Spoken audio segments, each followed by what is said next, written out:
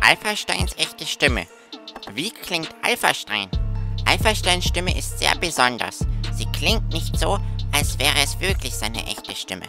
Viele Leute denken, er würde einen Stimmverzerrer nutzen. Aber wenn das so wäre, dann könnte man den Stimmverzerrer rückgängig machen und würde seine Stimme hören.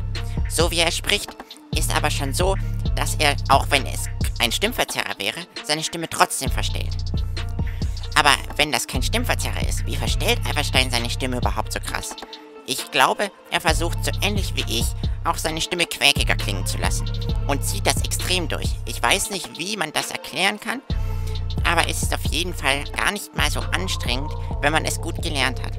Ich versuche mal, Alphasteins Stimme nachzumachen. Test! Es ist gar nicht so schwer, wenn man das öfter versucht.